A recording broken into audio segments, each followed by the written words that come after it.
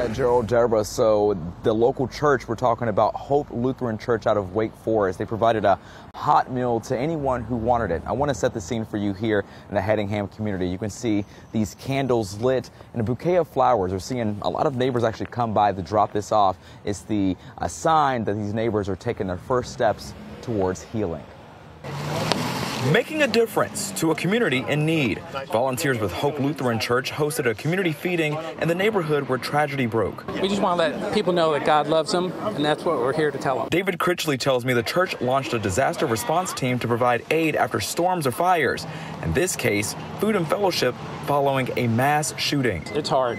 You know, it always seems to happen somewhere else, but it's here. Hedingham neighbors moved by the heartfelt gesture. Just to be able to have the church to come out here to be a beacon of light and um, to pray with us and, you know, feed, feed the people. It's very important. Crisis trained chaplains with the Billy Graham Rapid Response Team made an appearance, and organizers brought in Solomon, a precious golden retriever, to bring comfort. When, you know, people are just going out into communities and doing things just out of the goodness of their hearts.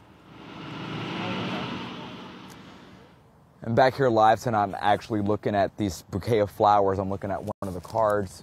It reads, thinking of you. So definitely a lot of strong emotions here. Tomorrow there is a planned uh, vigil and memorial at the local uh, clubhouse at 4 o'clock in the afternoon. Back to you.